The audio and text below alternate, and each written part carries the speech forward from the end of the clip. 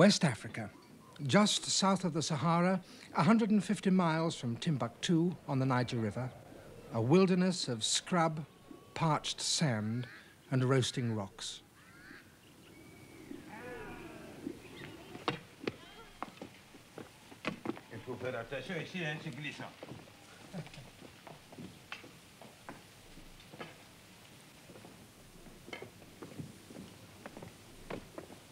Sandstone cliffs run in lines for a hundred miles, and huddled at their foot, the villages of the Dogon people.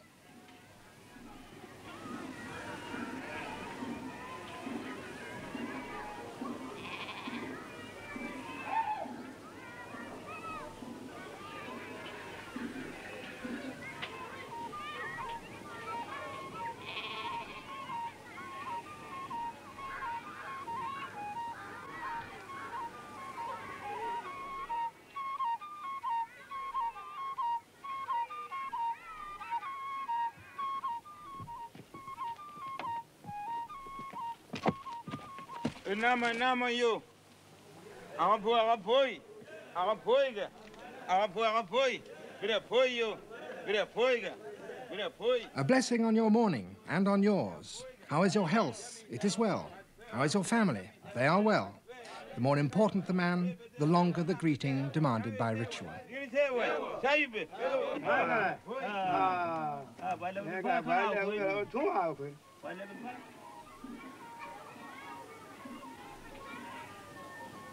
After long wars with people in the more fertile lands to the south, the Dogon found refuge here. No one now disputes with them for this parched, harsh country.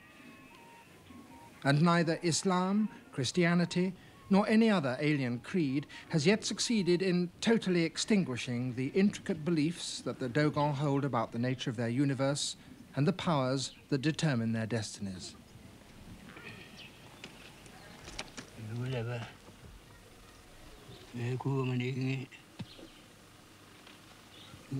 An old man draws symbols in the sand, rendering them magical by chance.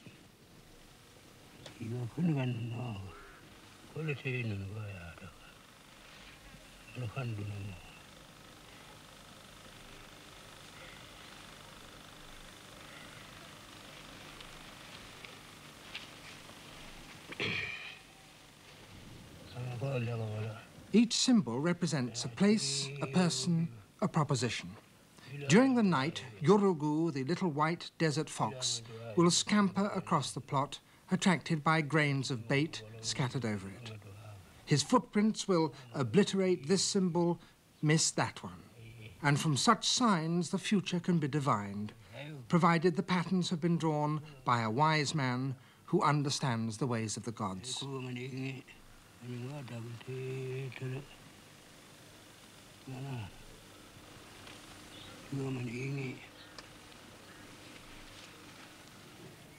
The fronts of the houses belonging to great families are pierced with niches, each a receptacle for special offerings.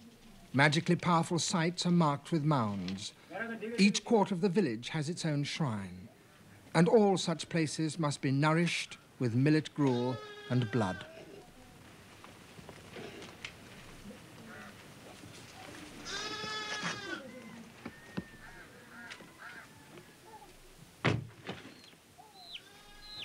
But although the West may have had little influence on this village, the people who live here and in similar remote corners of Africa have had a strange impact on the West. For sculptures that have come from them and other places in the remote parts of Africa have profoundly changed the ways that the artists of the West have seen the world. Tribal carvings had been finding their way to the markets of Europe for centuries, and Europe had dismissed them as no more than bizarre curios. In 1900, few people in Paris, then the artistic capital of the world, would have said that such things had anything to do with art, with the elegant pictures being painted there by men who delighted in capturing vivid impressions of the appearance of the world around them.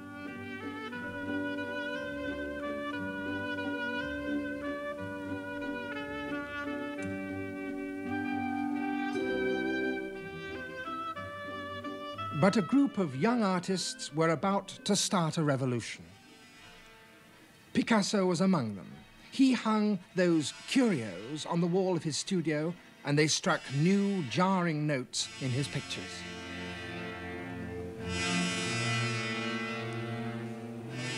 Georges Braque, the Cubist painter, declared that African sculpture had opened totally new horizons for him. This stark, white-painted mask, hanging in his studio in 1911, had been carved in the densest forests of Central Africa. Today, it still hangs in a Paris apartment, a fuse that once helped detonate an artistic explosion. Around it stand more tribal carvings.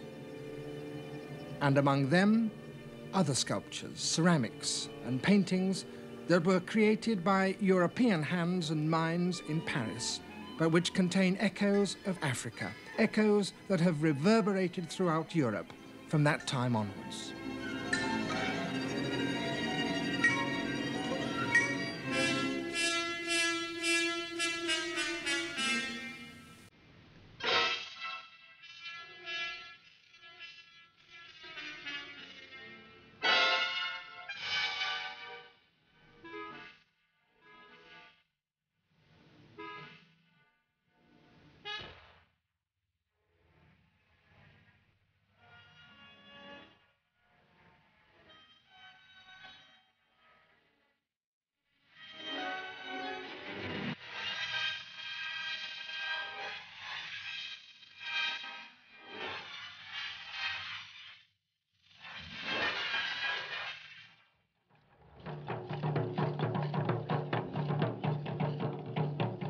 Objects like these cracked an ancient and powerful tradition.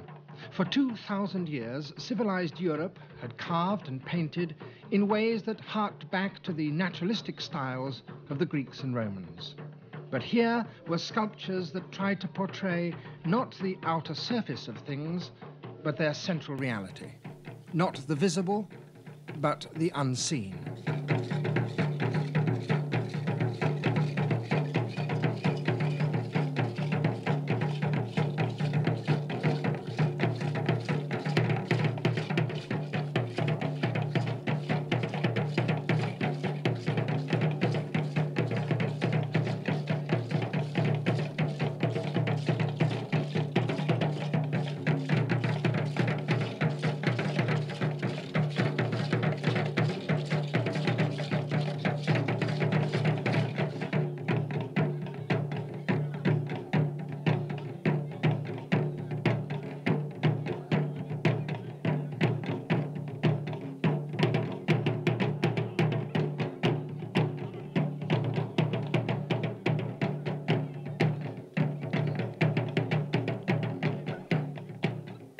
Sculptures made by the Dogon can hold their place with any from all Africa.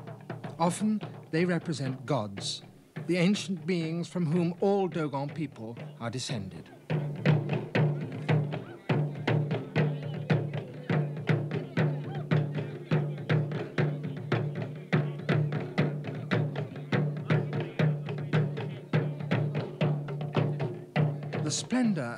Variety of Dogon carvings have made them highly prized by outsiders. And now, 70 years after a few artists in Paris opened our eyes to the quality of African carving, they're being treasured by the West with as much veneration as the work of the West's own artists.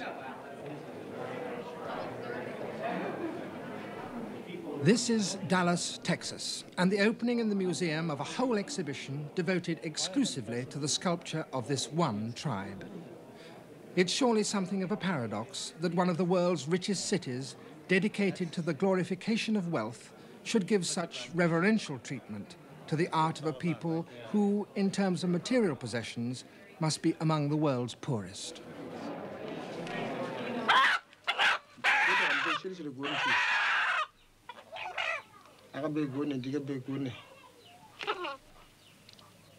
The Dogon themselves do not put their sculptures on display.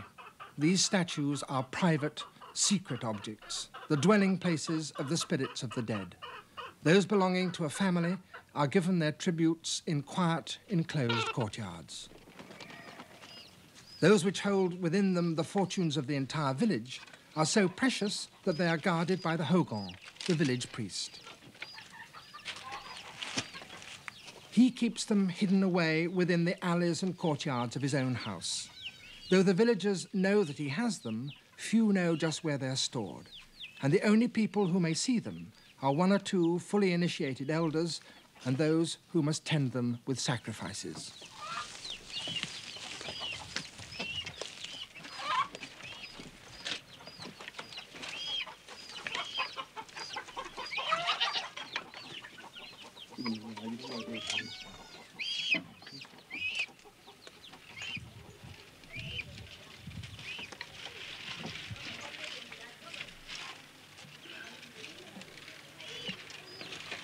Some of the most ancient and sacred objects are so coated with decades of libations that their original shape is lost. They are so precious that they have to be brought from special hiding places known to no one at all but the priest, and placed in the sanctuary with the rest of the carvings in order to receive their tribute.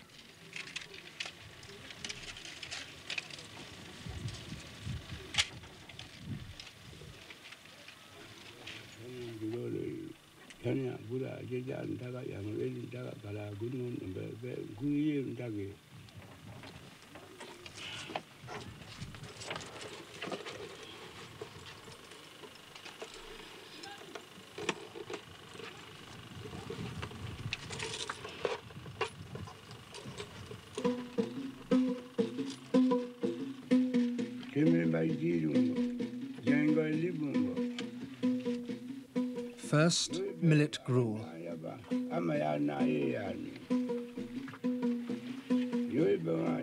Forgive us, excuse us, Antumulum, Yunum, Melegum, Kolawai, all you spirits of the bush.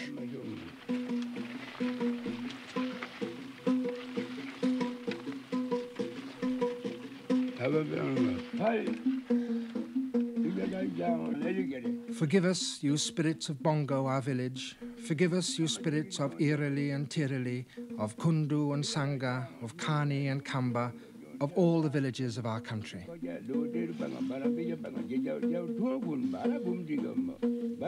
The first Hogon came from heaven, the realm of the sun. When he descended to earth, he had feet of fire. So hot were they that he had to wear iron sandals to prevent his footsteps searing the ground and making it forever sterile. Even today, a Hogon must not walk outside his village, lest his supernatural powers scorch the fields. After the sacrifice, the whole household must eat the flesh of the slaughtered animals. Each person has a particular part of the animal that is due to him a wing, a jaw, a shoulder, a leg.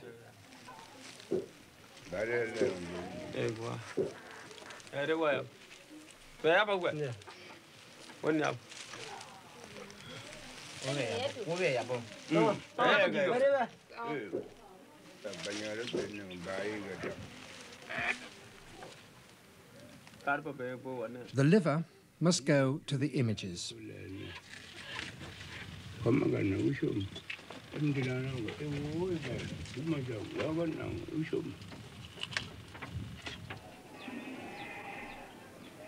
It is little wonder that the Dogon pay so much attention to safeguarding their future, for they live perilously close to disaster.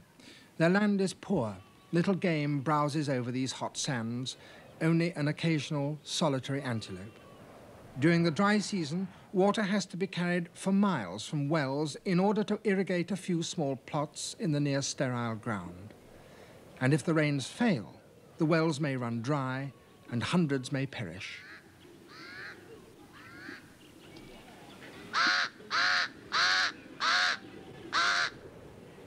Many of their most ancient statues have their hands raised to the sky, a prayer, the people say, for rain.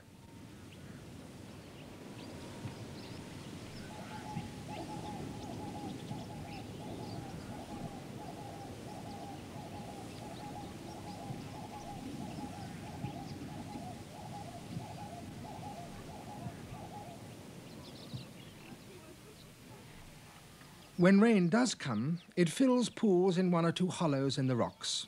Pools that, with luck, may last almost the entire year, growing greener and thicker with scum, but full of life-giving water nonetheless.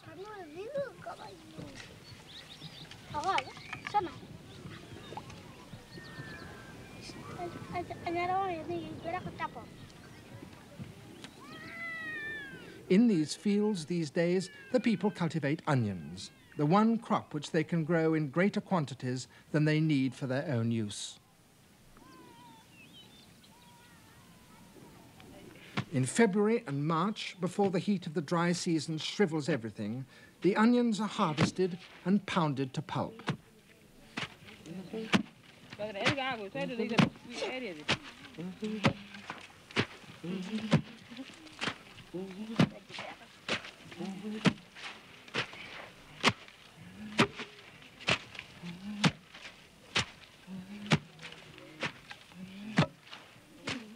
Dogon onions are traded all over this part of West Africa and bring back to the Dogon the few things they need from the outside world. And day after day, women mould the mush into balls and leave them to dry in the sun and spread their smell over the countryside. Their other crop is millet, but they seldom have an excess of that, and every grain is carefully garnered. It's their basic food, and every household has at least one granary in which to store it. It's by the size and number of his granaries that you can judge a man's wealth. This wooden door is decorated with a few scratched lines, but in the past, granary doors were the most richly decorated objects in the whole village. On them appeared once again the ancestors beseeching rain with upraised arms, so that the millet may continue to grow and the granary never empty. Such doors can only be made by one man, a man different from all others. Alone in the village, he is forbidden to own land or to work it. He is an intermediary between ordinary folk and the gods, the blacksmith, a direct descendant of an ancestor who stole a piece of the sun from heaven and brought it, a lump of glowing molten iron, down the rainbow to the earth.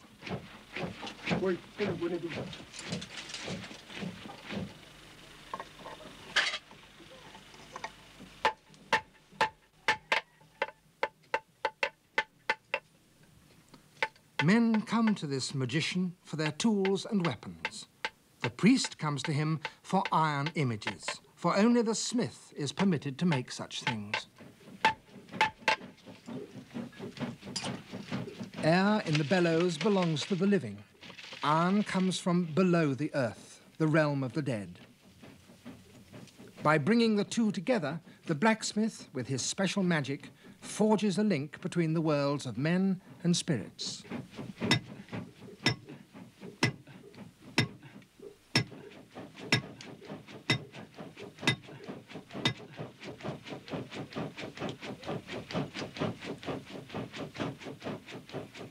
The son of a blacksmith may marry only a blacksmith's daughter.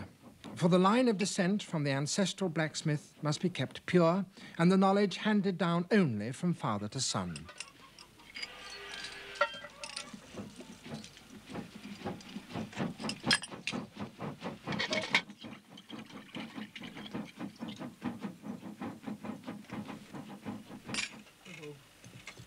Sumana tia, mkilali. Ke ai moi mai.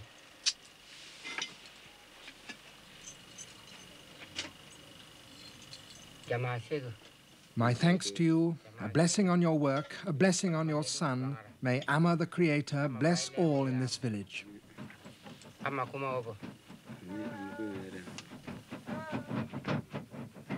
Young children know little of the mysteries of the Dogon universe. Their first important confrontation will come when they are circumcised, and for that ceremony they must prepare themselves by learning the initiation songs.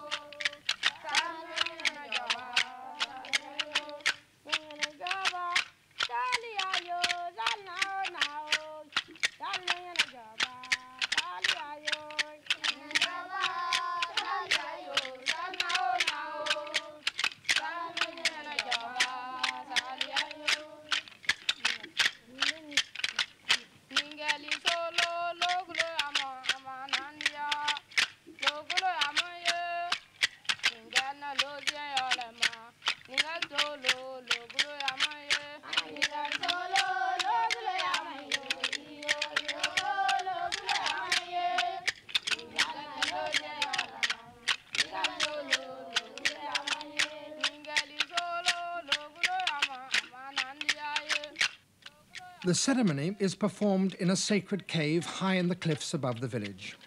Here, the boys will also learn the mythological secrets which will govern their adult lives and be shown painted symbols, formulae for the wisdom that has to be passed on to them.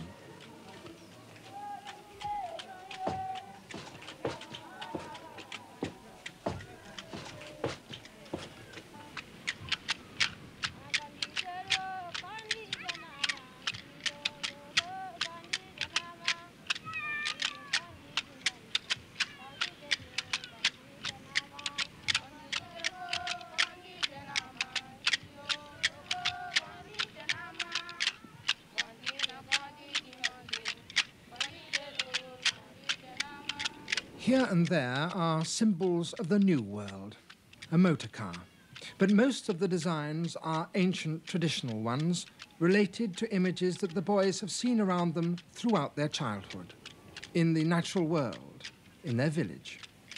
They are hieroglyphs, the meaning of which is burnt into the children's minds as they endure their ordeal beneath them.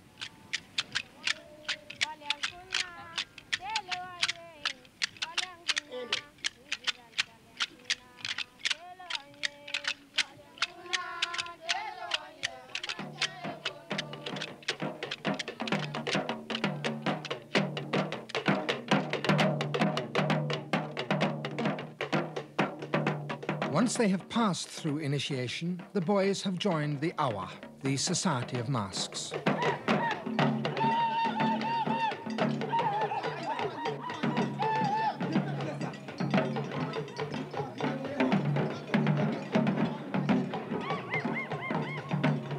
The members of the Awa speak a secret language. They gain wisdom as they progress through the great cycle of ceremonials that takes 60 years to come to its climax. It is they who bring down the sacred masks out of hiding to dance before everybody in the festivals that mark the important events in the village.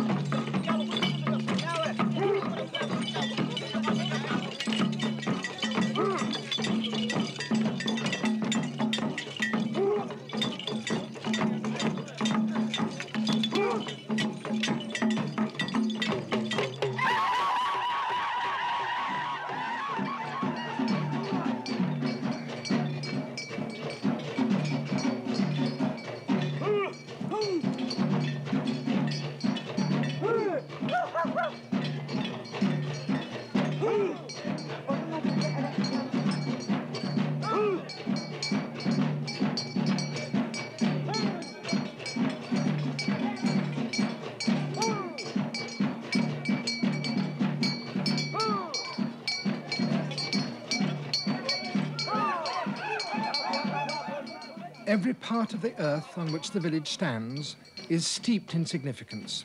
There are corners where no stranger may tread, strips of rock which are magically dangerous, and one place in particular to which the masks must pay special homage, for there stands an iron image decked with cowrie shells.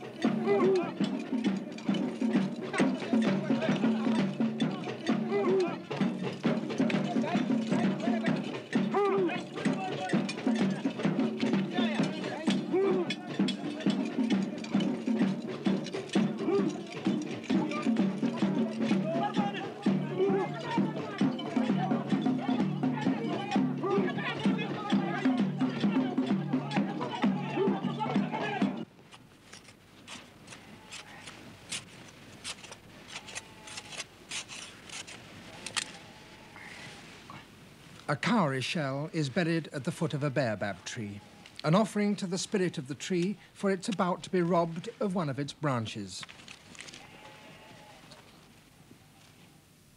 The blacksmith has been commissioned to carve a mask. With him has come the head of the Mask Society, the master of masks.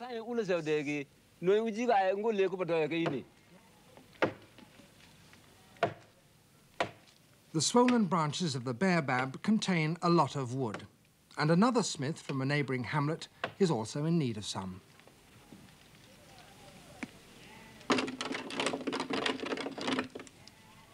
Climbing a baobab can be a painful business, for its trunk is studded with ferocious spines.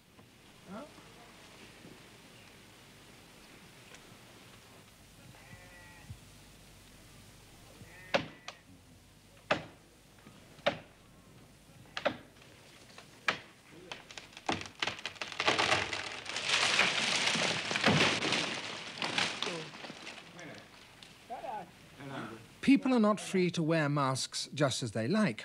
They may only be owned by members of the Awa, and the right to a particular kind of mask can only be given by the Master of Masks.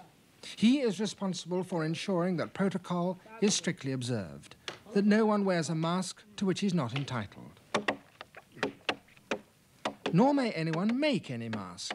Most masks and images can be made only by the blacksmith. Only he has the skill or the prerogative. So after a man has been given the master's permission to wear a mask, he must commission the smith to make it.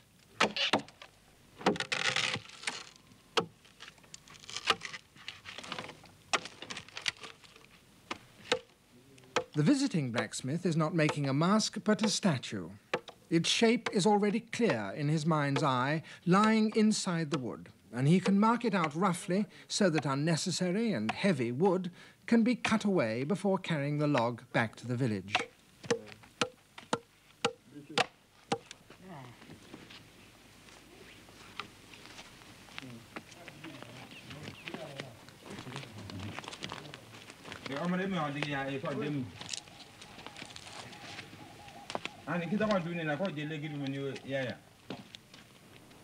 The Master of Masks supervises all stages. The work must be done in secret, for no woman or child may see a mask or a statue until it's brought out at the proper time. So the work is done not in the village itself, but among the rocks just outside.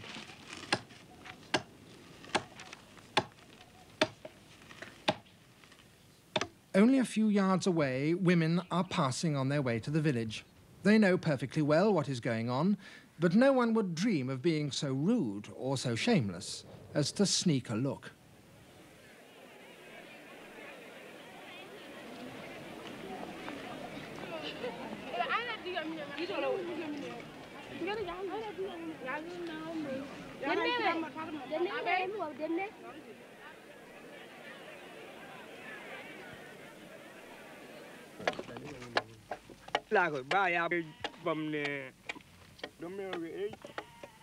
Pourquoi tous les statues de Dogon The Master of Masks speaks French. This country was once French territory. And through him, I asked the smith what he was carving.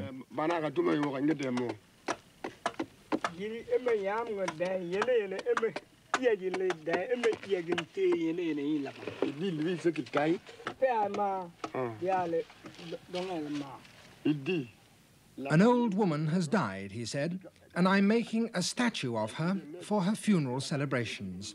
A statue that will be carried on the head of the chief mourner as he dances. Ah. Quand il est mort, au, au moment du funérail, il y a quel- on donne à quelqu'un, il porte sur la tête. Ah, ça représente la femme qui est décédée. Après ça, il met. Why has she got such a thin body? Because she was an old woman, he said. Cette statue-là, euh, le corps de la poitrine, But if she was an old woman, then why does she have such young breasts? Wa ganyan ga ko yana bai mo.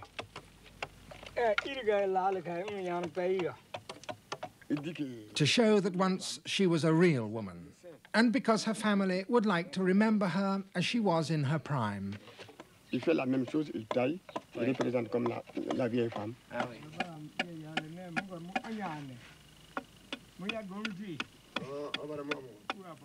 The other smith was carving a mask, a monkey mask, the master said.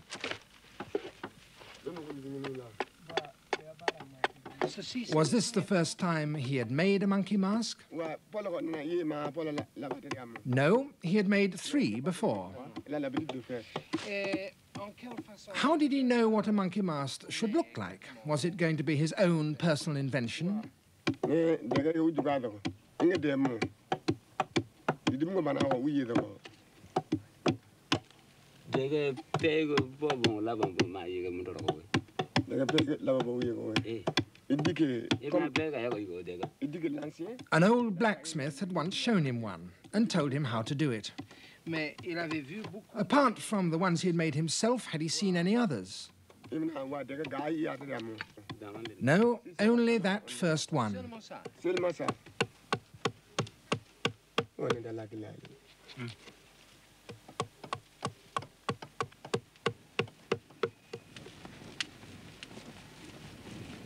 Dale yo.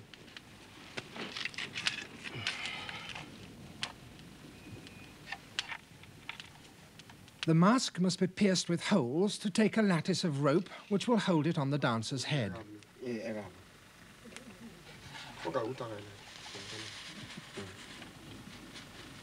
Ha ka Dege dege ule. Ai ai de ko. ma ka ha mai ne ini do Dame. Oui, là, oui. On on mo.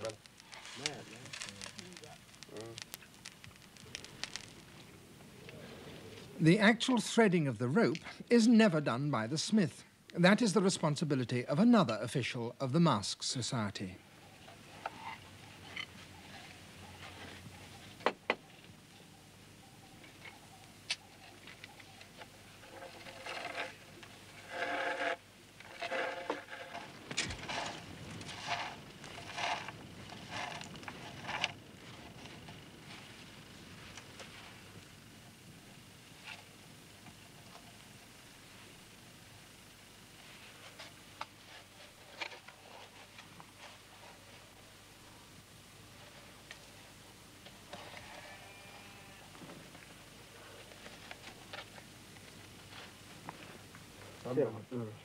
Maga mo biya we. Biya we. We go na de kile kile ni o. Ako goro ka edit. It's good. All that remains to be done is to paint it black with a special vegetable sap. Some people say that art these days in Africa is dead. And yet it does seem to me that this mask, in its simple strength and purity of line, has much of the quality that many of the older pieces that are the treasured possessions in our Western museums have. And yet I know to my certain knowledge that it was only cut from a baobab tree some three days ago. But of course, art with a capital A has very little meaning for the Dogon. They have no such word for it in their language. For them, a mask like this, sculpture, is not something to hang on the wall or put on an occasional table. For them, it is something which has to be seen in a proper context, on someone's shoulders, surrounded by a costume, in motion, accompanied by the throb of drums. Only then does it cease to be a, a mere piece of hewn wood and become a, a powerful symbol that the whole community understands. And until that moment comes, a mask like this will be put in a sack and stuffed in some corner in a dusty hut, unregarded. It's difficult to ask a Dogon if he thinks a carving beautiful or ugly, good or bad. How do you translate such words? How can you be sure that they mean the same thing to him as they do to you? The Dogon don't look at such sculptures as these as ornaments, but as religious statements. Their myths, their philosophies are expressed not in books, nor even primarily in spoken words, but in images.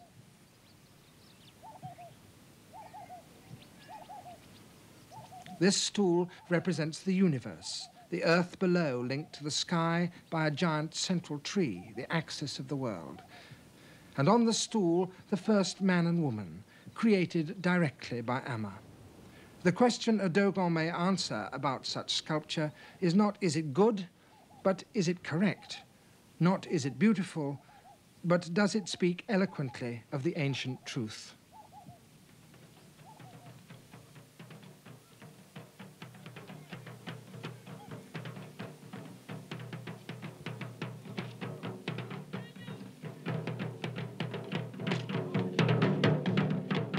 Kanaga masks, almost the only ones not carved by blacksmiths. Each is made by the dancer himself for his own initiation.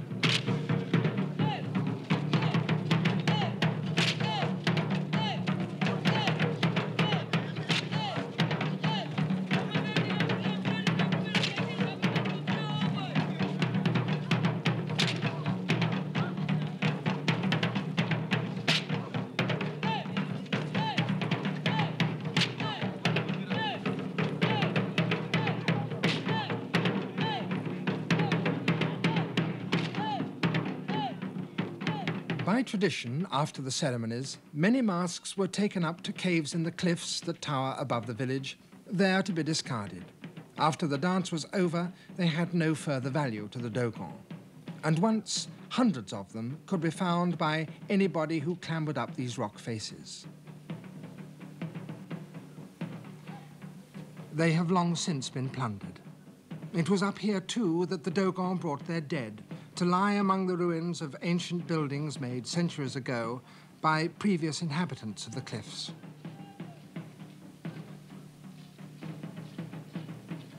But some caves do still contain masks, secret caves in remote valleys known only to one or two of the most important men in the mask society. Deep in this cleft lies the mother of masks, which is haunted by the greatest of the ancestral spirits. It is 20 feet tall and so magically powerful that no man may wear it. At dead of night, it'll be paraded through the village as the climax to a festival. A festival such as a funeral.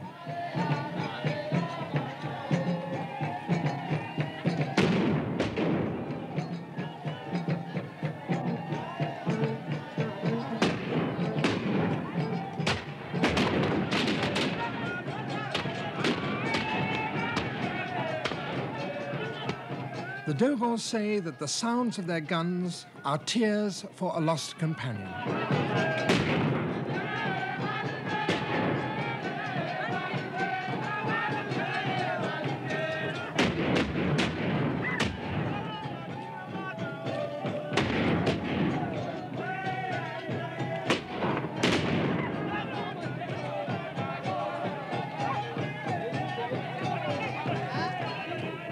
In staging a mock battle, the man's relatives portray the life struggle of the dead man, who fought so hard and valiantly to provide for his family and to bring honor to his village, but who was vanquished in the end, as all must be.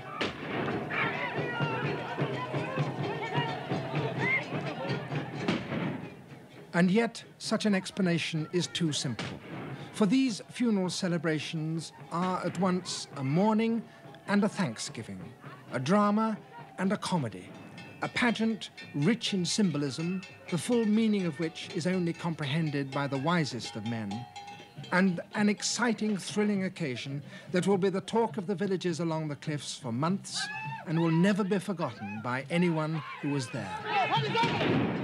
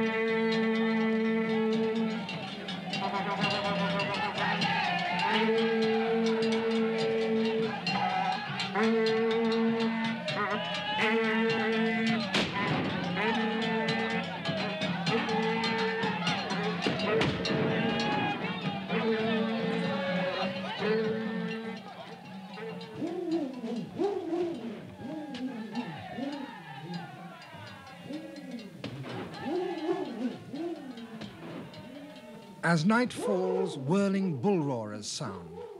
It is a confirmation that this night, the Mother of Masks, in total darkness, will leave her cave to give a final benediction on the village.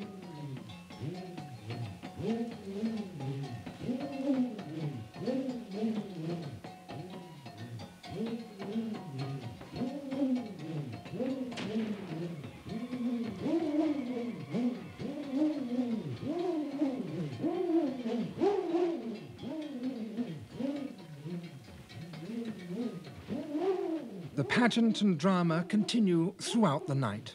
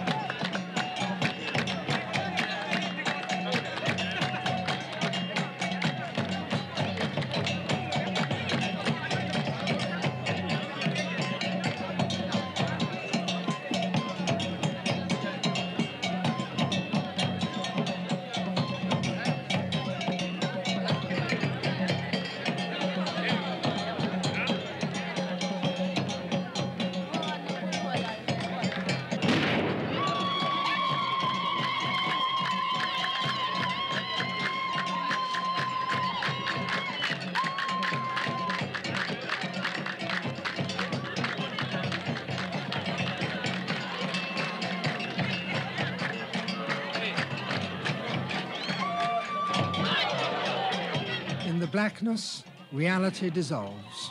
Men become heroes from the past, and wooden masks become spirits from another world.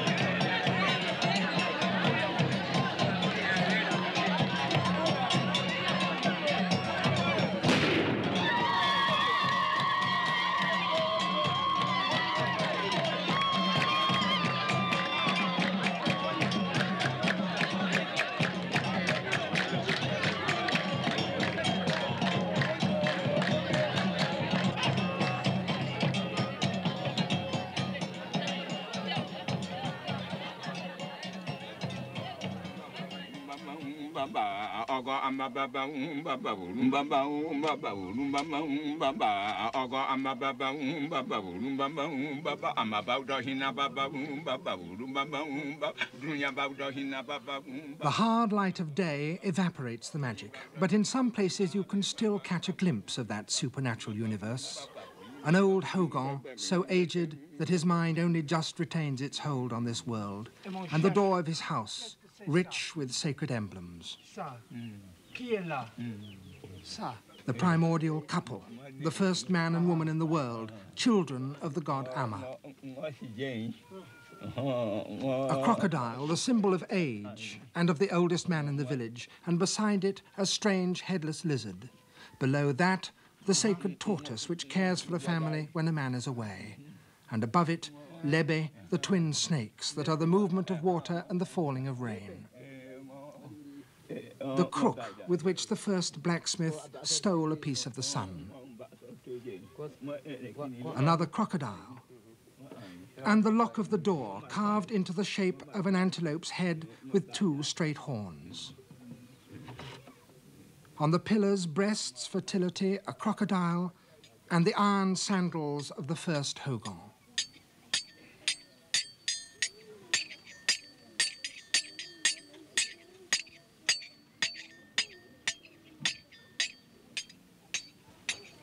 Most people who know Dogon country would say it's virtually impossible to go into a Dogon village and find a spectacular door visible for everyone to see. And the reason it's so difficult to find such doors is because if such a thing as that turned up in, say, London or New York sale rooms, it might fetch anything up to £20,000 or $50,000. And with prices like that being paid, it's scarcely surprising that most doors and most sculpture have long since been taken away from the Dogon country. It's hard to know what should be done about that. In the vast empty spaces of Africa, it's impossible to police all frontiers and prevent the export of pieces that a country might want to keep. And anyway, who is it who can say that people lacking so much that money can buy should be forbidden to sell their own possessions if they wish to do so? At any rate, over the past 50 years, Dogon sculptures have left Africa, and they now stand eloquent witness not only to a new way of seeing, but to a totally different way of living. That can't be female. She's got a beard. Well, I don't know what that is. 32? Yeah, it says It is kneeling female. female figure. But this must be a hat. That must, Incredible. and there's a mask. She's got a mask on. It says. That's Clearly see the break. Of course. And, you know, you can also see, but it's still very good. Look at the earrings on it. Of course, it's a magnificent piece. I just love it. It's not my favorite, that one. And anything that's got that kind of chicken blood and grease and whatever, and it's been loved and loved and loved, I've got to, I've got to appreciate it. Would you say it's beautiful? Beautiful. Imagine if people living like that all the time with beauty around them and everything. Everything's just functioning just beautiful. I mean, everything is functional and it's meant to be used and it's utilitarian and it's a work of art besides. I love the way the planes meet one another and the excitement, the coolness, that sort of, sort of Marshall McLuhan attitude of, Do you think it's important that people in the West should see these sort of things? yes. Why? Why? Because I feel that in the juxtaposition of another culture makes us know more about ourselves.